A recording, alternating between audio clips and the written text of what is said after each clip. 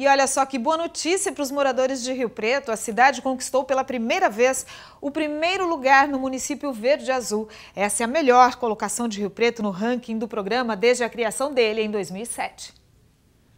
O ranking foi anunciado em São Paulo. A certificação é concedida pelo governo do estado de São Paulo por meio da Secretaria de Estado do Meio Ambiente. O certificado de Rio Preto foi entregue ao prefeito Edinho Araújo e à secretária do Meio Ambiente e Urbanismo, Cátia Penteado. Esta é a melhor colocação de Rio Preto no ranking do programa Município Verde Azul desde a criação em 2007.